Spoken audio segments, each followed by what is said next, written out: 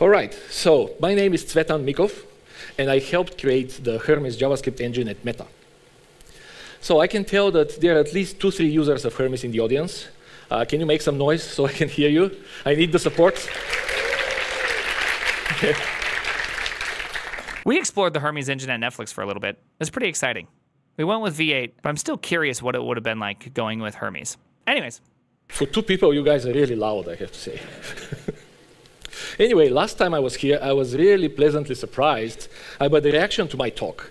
After my talk, a couple of people approached me to tell me that the talk was very technical, but okay. so let's hope we can live up to this standard once more. I like it. I want to start by telling you a little story. This is the sad fable of Joe Native and his slow code. By the way, is anyone noticing the back the backdrop to this guy? It's like he's in a rave concert going on behind him. I feel like whatever's going on behind him, I can't tell if it's this part of the screen down here or if they just have the craziest background of all time. DJ Hermes, I know it looks wild back here. Joe was sad uh, because he had he was having performance problems in his React Native app. the startup was very fast because of Hermes. We've all had performance problems. But there was occasional UI stutter when scrolling very long lists, when using complex animations, or when computing crypto hashes, or mining a bit of Bitcoin in pure JavaScript. Problems that we all have had, obviously. Joe, who was a very you know, making jokes at conferences is really hard. And I genuinely appreciate the attempt to get out there and to make it happen. Because you know what? Sometimes, no matter how hard you make a joke, people just aren't, they're just not, they're not joining in. And it's a little bit emotional, okay? Passionate programmer, very passionate. tried and tried, doing a 50 hour coding marathon. He swore, he drank gallons of coffee, he profiled, he optimized his code, he rewrote it over and over, but ultimately, he was faced with the fundamental limit of interpreter performance. He could not make his JavaScript any faster. Uh, it was beyond his control. Deadly tired, with a crushed spirit, but boiling anger, poor Joe was considering making his final move of total desperation, trying to rewrite some of his code in C++. That's, but then he wondered, what if I could leverage type information to generate efficient native code ahead of time? I would still be writing JavaScript, but I would be in control of performance, not the Hermes interpreter, which is actually great. But Let's go. I could optimize as much as I need. Could I do that? Joe wondered. And the answer to that is yes, yes, you can, Joe. You can do all of those things and more. You realize like how much better things can get if you can just have type information. Like what you can do in a programming language is vastly different when you can just just have it in there. As part of our cross-platform vision, uh, we really want to unleash JS developers like Joe and give them access to the unchecked power that native code has to offer. Optionally, if Joe really wanted, he can even carefully perform unsafe operations, potentially not only creating harmless web JavaScript crashes, but also devastating native crashes, just as C++ developers regularly do. It's good times. And right look at him, he's so happy. he doesn't know what he's getting into. but seriously, he will mostly get tons of performance. And on that highly optimistic note, I am excited to introduce the next version of Hermes, which we have been working on for some time now, codenamed Static Hermes. Some of you may have already heard some speculation about it on Twitter. Very excited. Uh, it was not meant to be a secret. It was on GitHub since day one. But we didn't really want to talk about it uh, because there was nothing to show. Well, now finally there is something to show, and we are eager to share it with you.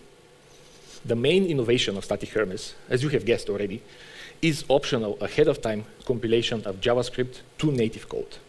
This is just so cool. Like I, I just this is just my favorite. This is my favoriteest thing right here, right there. Do you see this thing that just goes on right here?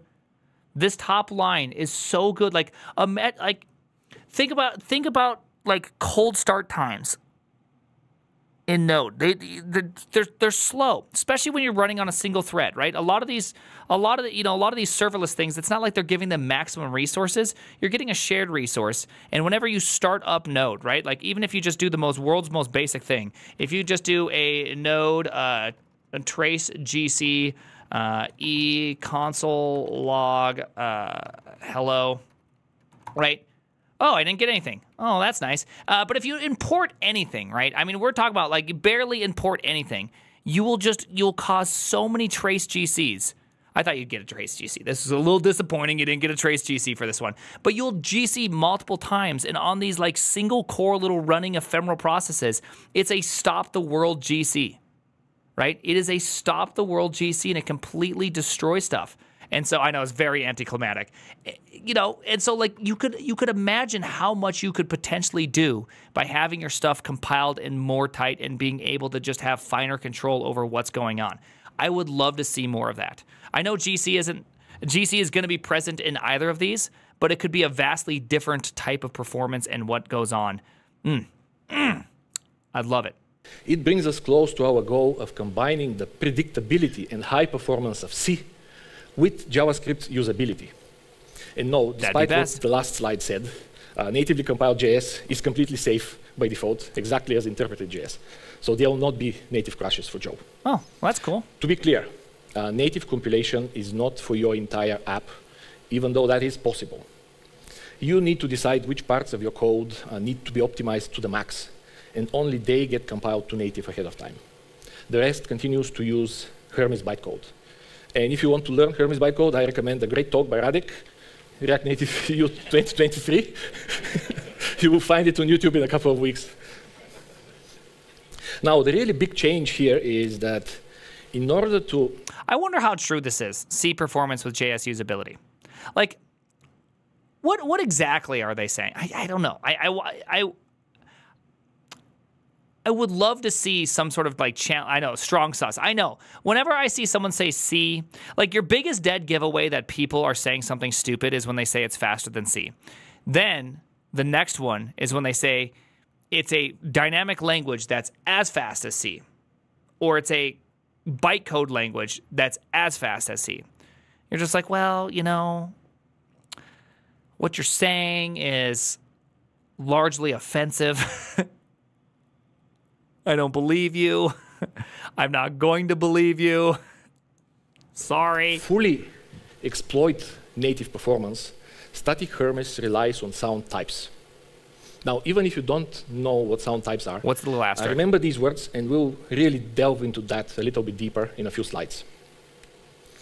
It I see someone say E E equals M uh, MC squared so didn't didn't someone tweet just recently E equals MC squared plus AI as if it was some sort of revolutionary thing?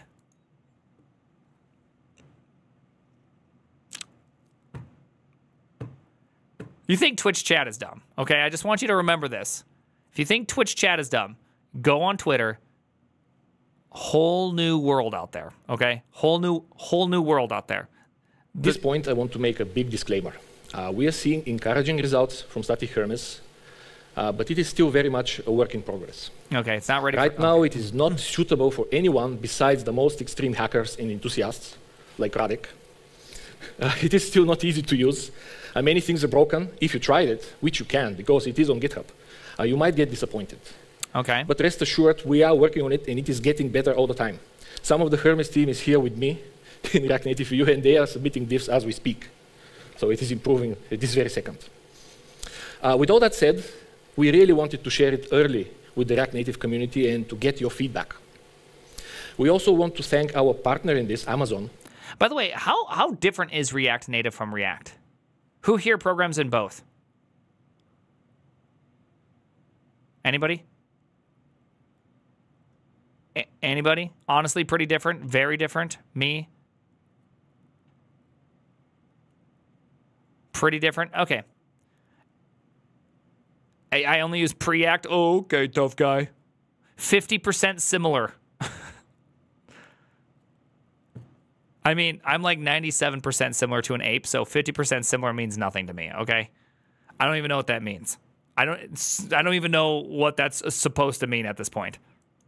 22% so better. TypeScript nice. support to static Hermes uh, because internally we added flow Ooh. support. Did I just hold on? Did I just hear the word TypeScript support to static Hermes? We also want to thank our partner in this, Amazon, Shh. for adding Chat. TypeScript support to static Hermes uh, because internally we added flow support. Uh, Amazon uses React Native in many of its apps, and it has been supporting us in growing React Native over the past few years. Okay, so this is a brief overview of the topics that we'll cover in this presentation. Yeah, Amazon doing non-evil things. It's it's weird. I, I okay, W on the board for Amazon. Flow, yep, vomit. I've never actually used Flow. I am curious about Flow. You know what I mean? I've never used Flow. Why would anyone use Flow? Has anyone used Flow? Flow's good. Flow's great. One W, a thousand L's. Flow is better. Flow has sound types. Oh, interesting. Flow has sound types. How does it do that? Does it have some sort of runtime component?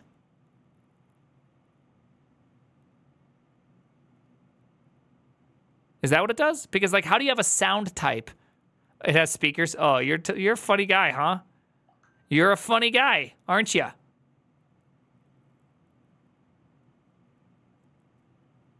Okay, forget you guys. I you could guys are talk for useless. hours about static Hermes, but I'll try to fit everything in the remaining. It has sound types. What are those and how does it have it? So first, we'll start with explaining why it is difficult to compile JavaScript to native. Then we'll explain what sound typing is, and we'll look into an example of actual native compilation so you can get a feel for it. Shut up! Finally, we'll talk about something that became possible with static Hermes, and that is zero-cost FFI. First, we'll look at an example which reads an SQLite database entirely in JavaScript without C++ or C. Does Hermes have And- does Hermes have its own runtime? Can you use can you use Hermes like Node?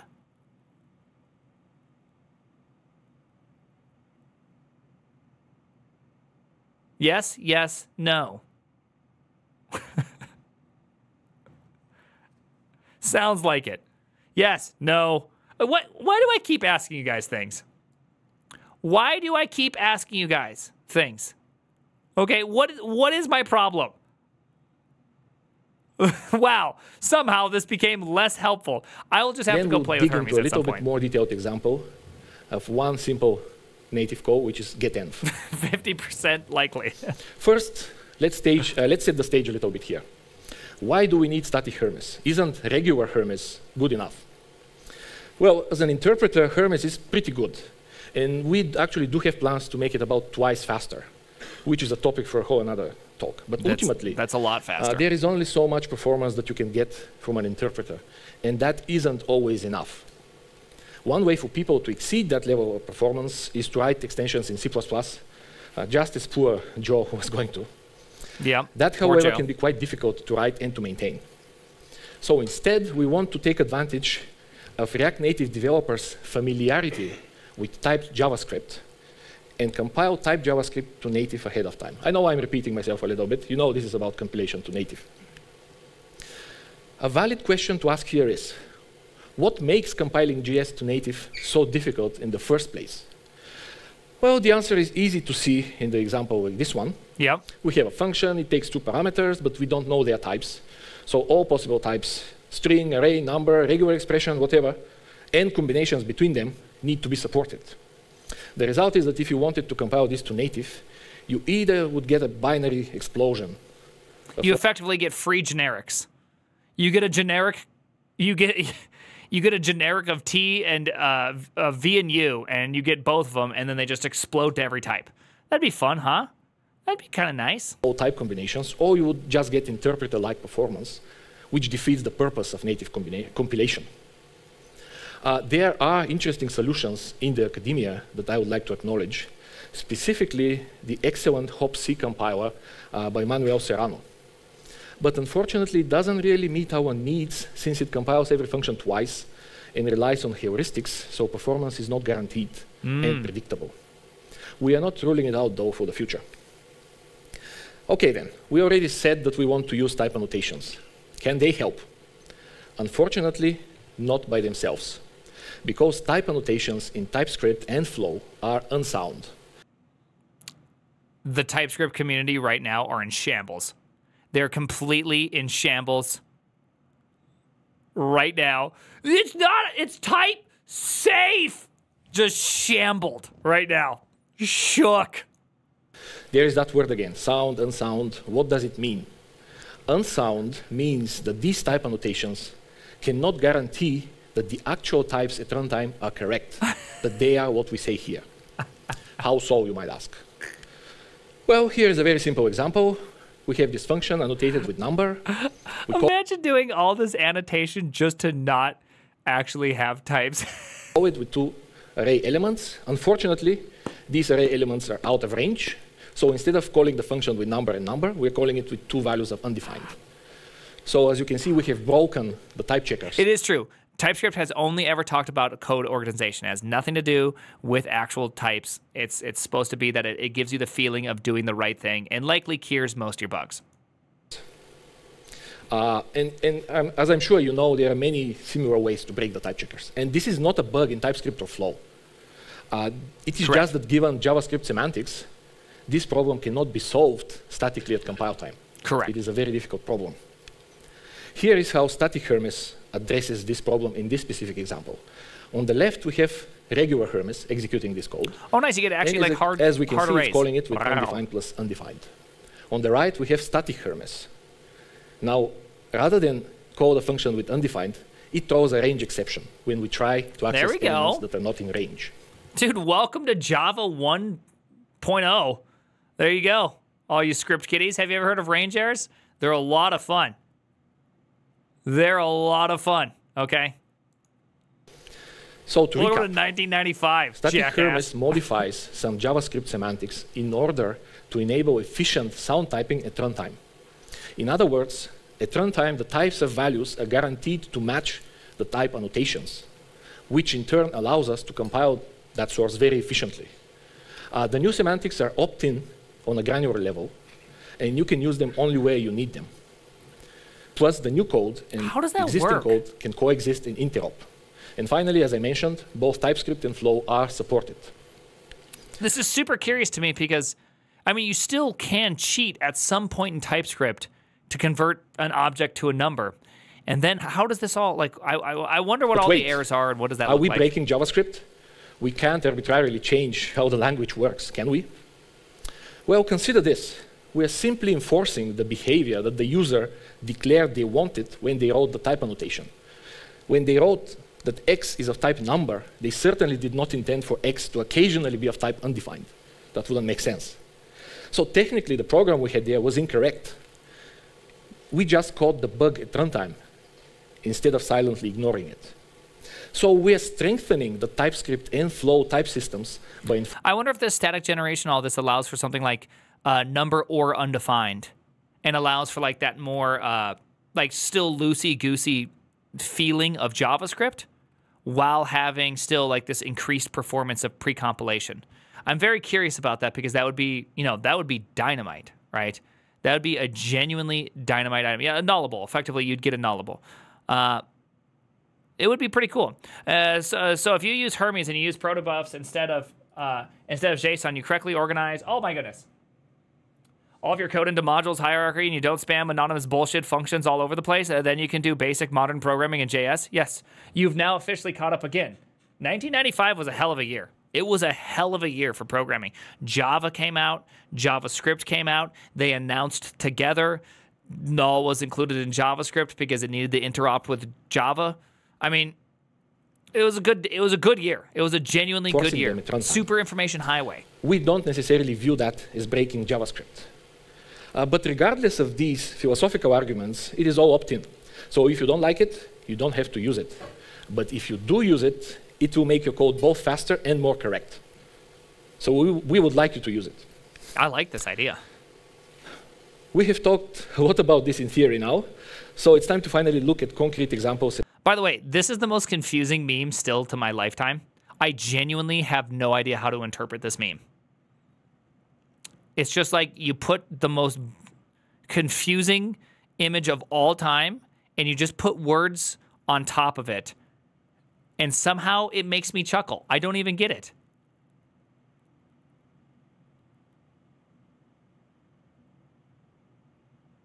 It's Darth Vader caring about his water quality. Obviously, I know, but it doesn't make any. I don't. I. I'm still. I still struggle. and understand what compilation to native means for performance and what it looks like. It's ironic. The example we have chosen is Nbody.js. Some of you may be familiar with it. Nbody, It is uh, part of a well-known computer language benchmarks game. Okay. It is a math-heavy benchmark. Do you think it's like the three body problem? Famous novel, by the way. by the way, citing that I read. Hey, just so you know, I read. I, I, I read. Not a big deal. With many property accesses. When we started compiling it to Wow, native initially, it was the same performance as Hermes, and that is 550 milliseconds. But now, as you That's can see, hell of a difference. it is 10 times faster when compiled natively. So that is, that is not pretty shabby. Plus, we're certain that there is more headroom. We can probably get to 20 times faster than Hermes. 20 times. I would have loved to see something like V8 as well in this comparison, just so you can see um, like another engine. So you have something to compare to because it's Hermes against itself, meaning that it just got a lot faster. Has it caught up to standard JavaScript expectation speed, or has it exceeded JavaScript expectation speed? I would have loved to see something outside of just Hermes comp- uh, comparison. You know, just toss it in Node, toss it in Bun, somewhere else, just so you can understand what you're looking at. You know. Okay, so we have this very nice performance improvement, but what does the compiled code look like? Uh, let's examine this loop from nbody.js. How did it become? The three body problem series is coming to coming in January 2024 to Netflix. By the way, oh gosh, they have another opportunity to ruin a really great book. Damn. become so fast? Well, this is how. Before static Hermes, there were dozens of instructions executed for every line of this loop by the interpreter. With static Hermes, it is much better. And by the way, I'm really happy to bring some low-level assembler to this JavaScript conference. In the next slide, uh, let's put the native in React Native. Here we are. Uh, if you don't know ARM64 assembler, don't worry. I think you will still get the idea. Uh, the first thing to see is how few assembler instructions we have for the first two lines of the loop. We have six instructions. And most importantly, most of these instructions are very cheap. The entire calculation, the two multiplications and the two adds, What, what's an F my life advanced mode on two dimensions? Is this some sort of sim D's nuts type operation going on here? What's this F my life going on right here? It's the divorce papers. It looks like it's doing two operations at once multiply and add. Floating multiply, lastly add that. uh, all performed in parallel by a single instruction, which is marked with red. there, Divorce, which is really impressive. And trust me, this is very fast, and it is quite exciting for compiler developers. This is the rest of the loop. Again, very few instructions. Ooh, that, why is that one so Again, slow? you don't need to understand the details of this, but you can see how small the output is. And rest assured, this is indeed very fast. It is achieving performance close to C, much faster than Hermes. I'd love. and I, not I would love to see again saying those phrases. I really wish they could have just tossed tossed a quick into Godbolt and done a quick little look see and see like what what does that look like? What what is the equivalent O3 awesome, you know, compiler version of this and and look at that. even done with it. It will become even faster. Sadly, not I don't have time to right now. explain how, but perhaps next year, But it'd be interesting. when we hopefully would have shipped this. Now, a little, a few more benchmarks. Uh, we can see the results of other benchmarks that we have created. They Nice. are in the Static Hermes repository. They're not as impressive, but it's still not bad. One of them is like five times faster. And we're, again, we're still working on making them better. I mean, this is all good. I love the performance increase. The next thing I want to talk about is zero cost FFI, which I suspect might be even more exciting for some of you. Come on, Zig. Uh, but what Come happened on, here? Come on, This was supposed to be a very serious slide. I don't know. I shouldn't have used ChatGPT for this presentation. Let's keep moving. So early on, when we started implementing sound typing, we got an unexpected benefit. We realized that sound types unlock the possibility of very efficient native platform integration. Yes. We can call native platform functions with practically no cost, just as if we were a C program. This enables us, if we wanted, to implement platform integrations entirely in JavaScript without the need for resorting to C++ at all.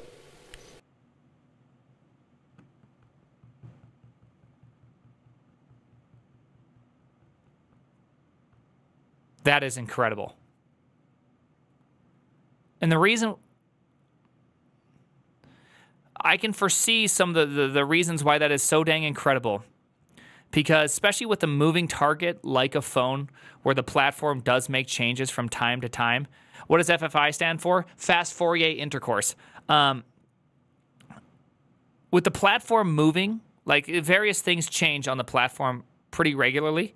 And so being able to have a bridge methods written in JavaScript means that you can do like JavaScript operations and actually have like a platform normalization layer and it effectively gets to run at almost native speed. Like that that that's super cool. That's like super super cool. So what problem are we really solving here? First, native Flutter native is sweating. $20 billion sweating. error prone, and they require non-trivial amount of code in order to implement and wrap a single call to a native platform API. Furthermore, those wrappers which use JSI can become expensive when they're invoked very frequently. We can give JavaScript developers another option. The zero cost FFI in Hermes is literally that, zero cost. It performs no conversions, no allocations, no indirections. It is exactly as cheap as performing a regular library call in C++. We have measured that the call overhead is between 15 and 80 times, not percent, 80 times lower than JSI wow. when calling a native function. wow, I mean, that's that's pretty dang good. Even I mean, I know it's all self-referential speed up points that they keep doing, right? They're only referring to Hermes as what they've actually made faster. But nonetheless, I mean, making stuff faster within your own platform by huge leaps and bounds, like that's really good. Like that's genuinely an awesome thing. Especially native calls like that where you can really get deep on it. I like it. However, we have to be careful. As we all know, native functions can be unsafe and dangerous. We have made it very cheap to call them, but that doesn't mean that they should be called irresponsibly. To ensure that, we have introduced a distinction between safe and unsafe code. This is very similar to another very popular system software language. I'll let you guess which one it is. Uh, unsafe code sections trust that the developer knows what they're doing. Hopefully, Joe knows. We'll see. And interacting with. Whoopsies. I just accidentally I tried to pause it. I just I just messed that up. He's talking about Rust, okay? The Rust mentioned. Let's go. On the other hand, disallow unsafe operations, so you cannot accidentally call a native function from there. So you have to be very really deliberate when interacting with I, I skipped something. I'm not sure what happened here. Just deal with it. Just deal with it.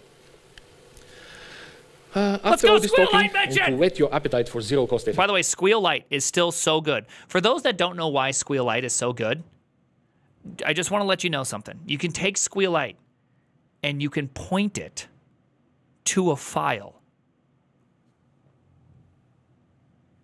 And it works. I want you just to take a second and think about how many cool integration tests you could have written by simply having golden database files and you just write the database file once, save it as the file, and then that's the thing you test against now. You can actually like just test and have actual database like working and the database is perfectly set up and all you have to do is just like cp that file into a directory run it call it good you're like yeah that's exactly the thing we wanted to, to, to work i know actual data like actual data